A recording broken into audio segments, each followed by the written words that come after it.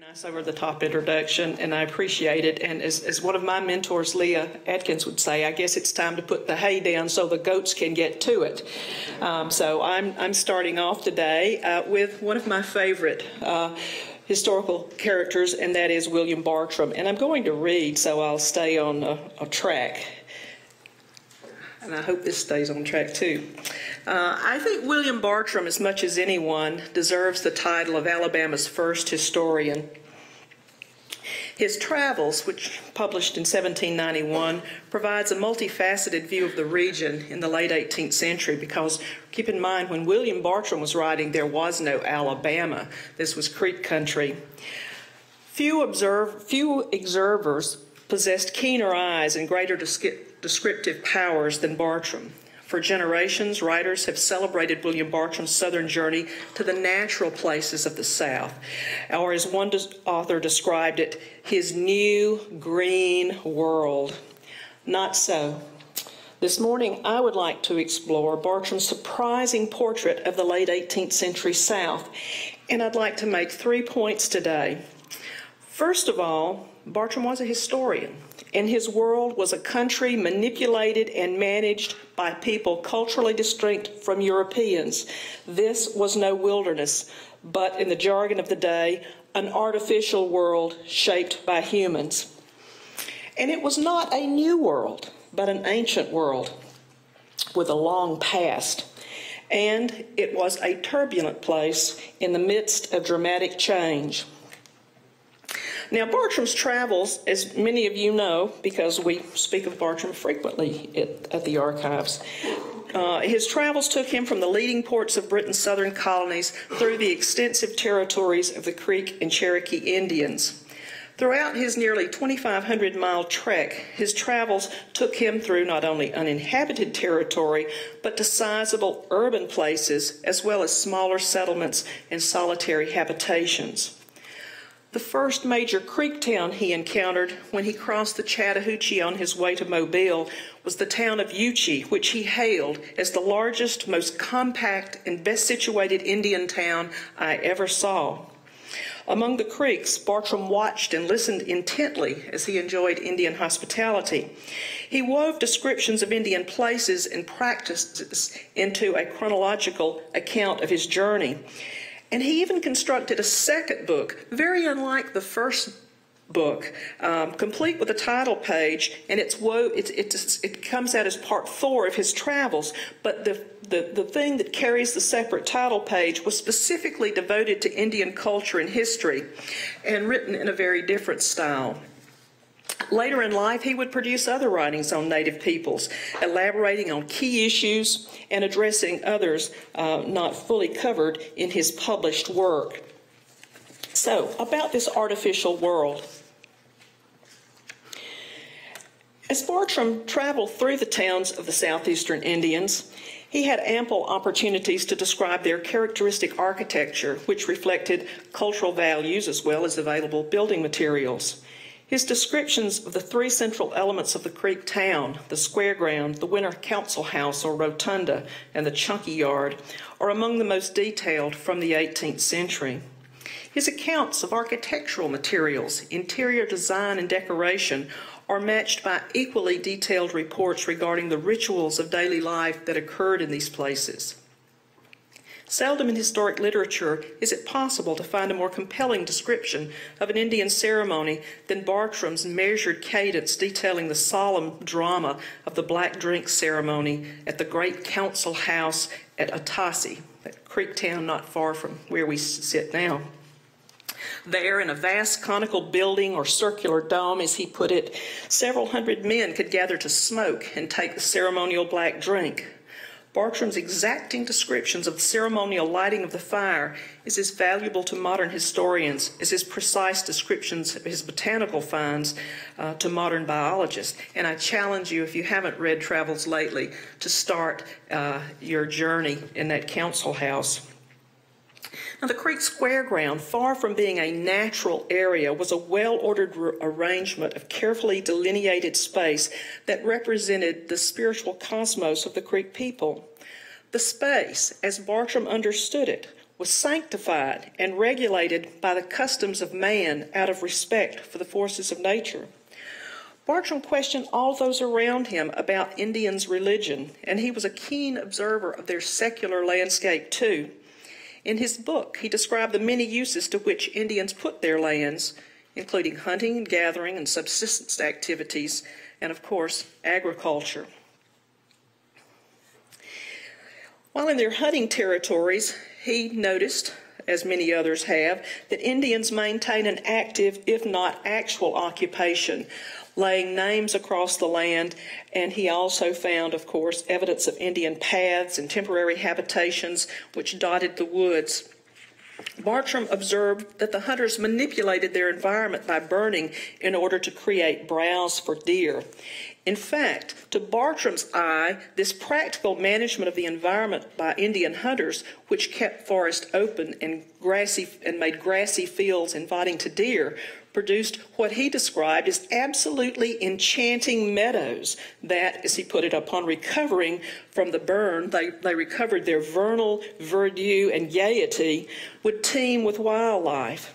And he described these meadows as scenes of primitive nature but they were far from natural. Instead, they were the result of centuries of environmental management by skilled native hunters. In short, if you read closely enough, Bartram's writings reveals that the extensive territories of Creeks and Cherokees and other Indians were purposefully shaped by native peoples who lived in complex and well-ordered urban societies. Bartram also realized that this was not a new world he traveled through. Everywhere he went, he encountered mounds and other handiwork of those he dubbed the ancients. Like others of his generation, Bartram was preoccupied with two central questions concerning the American Indian their place of origin, and specifically, whether or not Indians could conform to the civilized world being created, or that had already been created, by American settlers. Bartram, like other Christians, took it on faith that all people had descended from Adam and Eve. Thus, most believe that the Indians must have migrated from the old world, where, of course, the Garden of Eden was located, uh, to the new. And so, information in Bartram's eye on ancient monuments uh, could provide a key to understanding the remote past of America's Aboriginal inhabitants. Now, Bartram, in regards to this question, was very cautious in his approach. Unlike James Adair, for instance, who was convinced the Indians were the descendants of the lost tribes of Israel. But Bartram avoided a forthright stand on the issue. Instead, he simply provided a descriptive catalog of Indian cultural and character traits and provided physical descriptions of them for comparative purposes and he concentrated on reporting these ancient remains, and travels is littered with accounts of mounds, stone grave boxes, shell middens, old fields, any evidence of what Bartram deemed distant antiquity. Marveling at these monuments of labor, ingenuity, and magnificence, Bartram decided that he could not see the least sign of arts, sciences, or architecture of Europeans or any other inhabitants of the Old World. He couldn't figure out what they were. He just knew they were not uh, like anything else.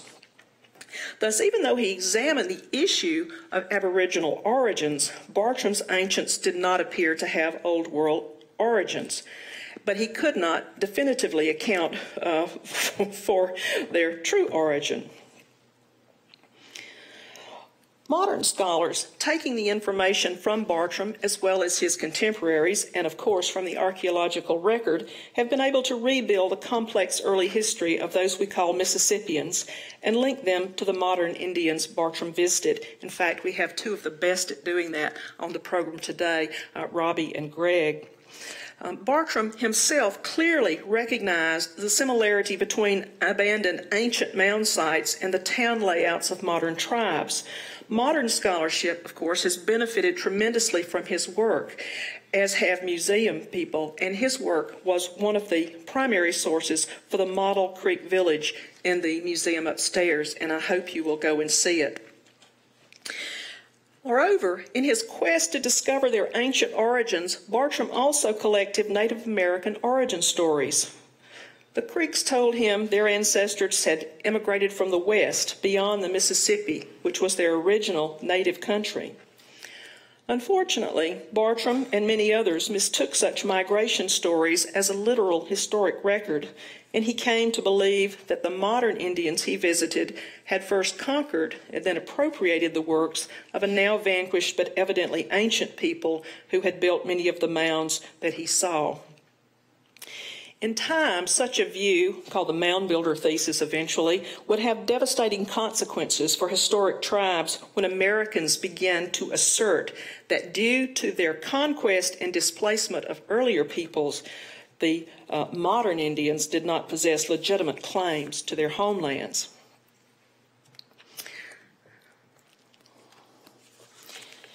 As Bartram so well recounts, the Gulf South also had a history of conflict, movement, and transition.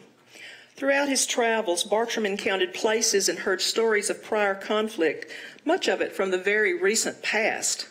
Particularly fresh in the memories of those he visited were tales of Creek wars against the Spanish and their Florida Indian allies. At one point, uh, Bartram even thought he camped next to the border of an ancient burying ground where the Yamasees, who had been slain by the Creeks in the last decisive battle of that war, lay buried.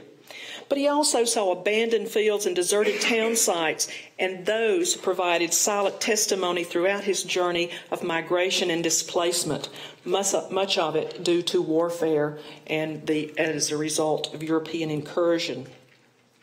Now, by the time Bartram traveled through the South, of course, the French and Spanish had lost their holdings, but their attempts at permanence were still visible. Such disparate spots as old Fort Toulouse, where cannon left by the French still lay half buried, and Fort Picolata, built by the Spanish on the St. Johns River, uh, which by Bartram's day was dismantled and deserted, testified to the military character of the European intrusion. Bartram could not ignore the strife a peaceful Quaker, he could not ignore the strife that was everywhere around him as Indians and colonists competed for the South. In Florida, he witnessed war parties he deemed a predatory band of Seminoles heading off to fight Choctaw Indians. The focus of both parties, Lower Creek Seminoles and Choctaw, was hunting territory which included part of the Tensaw Delta, a place Bartram would call the bloody fields of Scambia. On the Georgia border, Bartram traveled with surveyors to map the so called New Purchase cession. This cession, consist, consisting of some 2 million acres, uh, the land had originally belonged to the Cherokees, but Creeks had won it from them in the mid 18th century after a period of uh, prolonged war. Georgians, eager for land between uh, the Savannah and Oconee rivers, made a deal with the Cherokees for this land in the early 1770s in exchange for cancellation of the Cherokee national debt. But the Creeks, now acknowledged owners of the land in question, were outraged. Bartram attempted the dip, uh, attended the diplomatic conference at which Cherokees, Creeks, and Georgians sorted this mess out. And Bartram alone is reporting the most humiliating lash, as he put it, that the Cherokees suffered in public when a Creek speaker, and I'm quoting, with an agitated and terrific countenance, frowning menaces and disdain, fixed his eyes on the Cherokee chiefs, asked them what right they had to give away Creek lands, and then called them old women. Well, it's a pretty bad insult.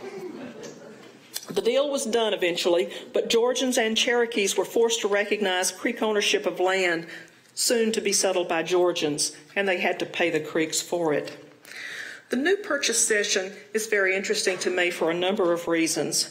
It's also a case study for environmental change as well as changing ownership. As Bartram traversed the territory with the survey crew following the cession, he wrote with interest of the Buffalo Lick. This extraordinary place lay near a cane swamp and had years earlier been the resort of bison. But by Bartram's day, imported horned cattle and horses were the usual visitors. Bison, Bartram reported, had been affrighted away since the invasion by Europeans. Bartram's observations of the shifting species at this famous mineral lick is an example of how the South was vastly reshaped by the Columbian Exchange, as scholars call it. Alfred Crosby popularized the term to describe the mixing and mingling of European and American plants, animals, diseases, ideas. We could even extend that to human genes. Indeed, Europeans and Africans and their hogs, cattle, horses, insects, and crops and weeds had already begun to remake the South that Bartram visited. Evidence of environmental and cultural transformation confronted Bartram every step of his way he extolled the charming orange groves that the Spanish had planted over large areas of Florida. He consumed figs from trees planted by the French settlers near Mobile. He feasted on Seminole watermelons, a fruit native to North Africa, but in Bartram's day already being spread across the South by Indian horticulturalists. Indeed, recall that war I mentioned between the Cherokees and the Creeks, whereby the Creeks obtained their claim to Cherokee lands along the Savannah River. At the conclusion of that war, Creek diplomats had, diplomats had presented the Cherokees with watermelon seeds along with more traditional peace gifts uh, such as corn and conch shells to solidify their peace pact. And it's just such gift exchanges uh, that allowed crops to spread so rapidly. Bartram relished the peaches of the creeks, whose landscape was already known by references to the fruit, such as the standing peach tree village. The fruit trees were so widespread, he did not realize they were not native to the region, but rather took the old peach and plum orchards as evidence of long settlement.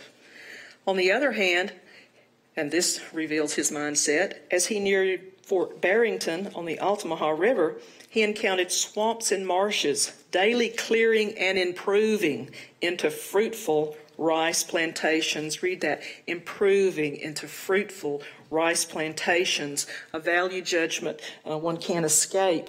In the knees of native cypress trees, he and traveling companions found feral European uh, honeybees. Uh, they had long absconded from the hives established by the uh, Spanish around St. Augustine and along the Spanish road through Florida. Bartram remarked on the spread of honeymakers across the Florida panhandle, as well as the lucrative trade in honey and the sheer delight tra- travelers took in finding a bee tree. Beehives were kept by settlers too, but the Indians simply hunted wild colonies and robbed them for home use and trade. In less than a generation, uh, feral bees would be well into what is now modern Alabama through this, this, this natural spreading in an ironic twist, I think it's just this, it's just incredible uh, irony. Bartram was given a Muskogean name of Puc Puggy, which means flower hunter.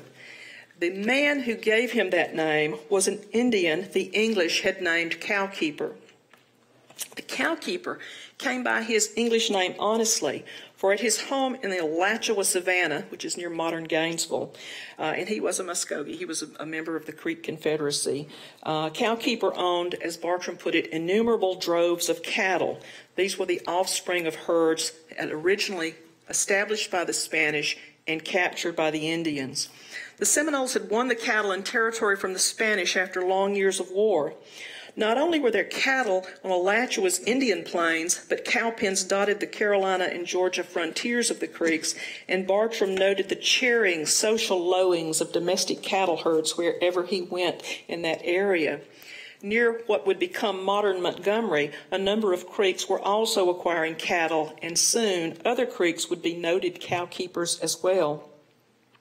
Cows provided meat and hides, as well as milk, butter, and very good cheese, according to Bartram. The new species of plants and animals not only brought environmental change, but brought new foodways to the South, combining with Indian cuisine and African uh, cuisine uh, to create what we know as uniquely Southern food. And as cattle keeping spread, large largely free range style, cows invaded canebrakes and began the destruction of perhaps one of the most remarkable landscape features of the early South. Bartram's descriptions of canebrakes varied from vast to troublesome, depending on whether he was botanizing or simply attempting to get around them, because, as he noted, there is no penetrating them without cutting a road. But mostly he was just impressed by these cane brakes um, and saw one near Mobile with a cane was 30 or 40 feet high, as thick as a man's arm, or three or four inches in diameter. That's big cane. Had he traveled uh, through the South with Benjamin Hawkins a few years later, he would have found a shockingly few cane brakes. And horses, along with cattle, were responsible for that as well. And Bartram reported that both the Chickasaws and Lower Creeks had managed to develop specific breeds of uh, horses from a variety of Spanish horses. Bartram traveled the South on horseback and took the animal for granted as part of the everyday landscape. The vast caravans of trading ponies that traversed the landscape were part of a broader story of connection forged between native peoples and colonists through the deerskin trade. These traders who traveled from Carolina and Georgia also brought the biggest change of all via the new trading economy and intermarriage with native women. Bartram's guides and hosts, his informants in fact, for much of his journey were deerskin traders, Europeans. And he spent hours in their company, gleaning from them knowledge of the Indians and the landscapes they knew so well from their own travels. The manufactured goods these men carried in exchange for processed deerskin and other Indian produce transformed their Indian customers. Indian production of dressed hides for the exchange market was based on long hunting, uh, long-standing hunting practices, now taken to the extreme by the demands of the marketplace. Indians readily embraced the trade and appreciated at once the advantage of European weapons and textiles. And while Bartram may have dismissed as superfluities the silver ornaments, the ostrich feathers, and Chinese vermilion uh, used for war paint by his day, these items really did enrich Indian material culture. They provided a new means to display status and personal wealth. The acquisition and possession of guns, silver, jewelry, brightly colored glass beads, manufactured textiles, and purchased shirts advertised success in the masculine art of the hunt. They enlivened Indian costume, and they provided a means for artistic expression via fashionable self presentment. And though all Indians felt the advantages of a steady supply of European trade goods, Bartram correctly laid out the exceeding high cost of the commerce. He noted the destruction of deer herds across the native South, an escalation of conflict between Indian tribes, conflicts with whites who encroached on Indian territory, and the introduction of debilitating liquor into the Indian nations. And he noted debt, overwhelming debt, as a result of a consumer economy uh, unable to keep up with the production side. Equally as important as the transformation wrought by new manufactured goods was the transformation of Indian social and family life as a result of friendship and marriage alliances with European traders. Many Indian men were adopting European attitudes and values towards property and wealth and were becoming traders themselves, as, is test, uh, as Bartram's sketch uh, here testifies. You can see the warehouse. In Georgia, he was rowed across a river by a Creek man married to a white woman, as he tells us. But usually the match was reversed, with European and African men taking Indian wives. The offspring of these unions, which were lawful marriages under Indian custom, were called musties by the English, and that's the term Bartram uses. It's a corruption of the Spanish word mestizo. Racial distinctions were beginning to matter. But in the late 18th century, clan and lineage and town affiliation were still the hallmarks of Indian identity. The Indian women who married white traders supported the commercial interest of their husbands for the most part, uh, although they insisted on raising their children according to Indian customs, usually.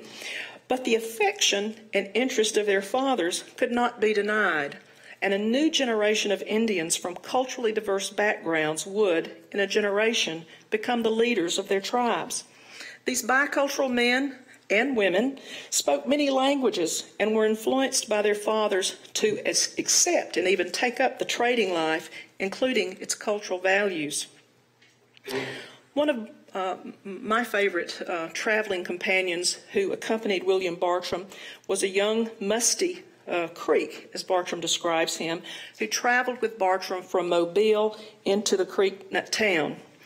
And uh, here's another thing you should read in Travels, one of my favorite parts How to Construct a Raft to Get Across the Alabama River at Flood Stage, uh, which the Musty Creek uh, taught Bartram. But this young man's background is incredible. His mother was a Choctaw woman. She was a captive who had been enslaved by the Creeks during a war between the Creeks and Choctaws, enslaved and kept among the Creeks. And she had married, or a, a Creek man. His father was the product of a marriage between a Creek woman and a deerskin trader. Now, Bartram attended the youth's wedding when they reached the Creek town of Muckalossus, and the young man's bride was the daughter of the headman of the town, and her, his, her sister was the uh, wife of the resident British trader. Now, unpack all those complex relationships. Enslaved Choctaw woman, British trader, Creek Headman, young Musty Creek, who has in his veins these, this variety of backgrounds, and, and Creek, Creek women are all in this. In that young couple, Bartram had visual proof of the strength of kinship traditions as well as the importance of trade connections. He also saw before his eyes the mixing of cultures and destinies as a result of territorial wars and the quest for trade goods, as well as the impact of new material goods and ideas had wrought on the native South. So, this then is the world to which Bartram traveled and allows us to see today in all its glory. And, and I, I didn't have time to talk about it, but he provides not only visual pictures with his words, but he enlivens us with tales of how this world sounded, even how it smells when he catched hold of a plant that was an allspice. And, and he describes the aromas, the sounds, the feelings of this late 18th century world. He chronicled it very well, and he provides in his work an amazing historical portrait of our region before statehood. By the late 18th century, Far from a wilderness, it was an artificial world of towns and villages shaped by Indian peoples.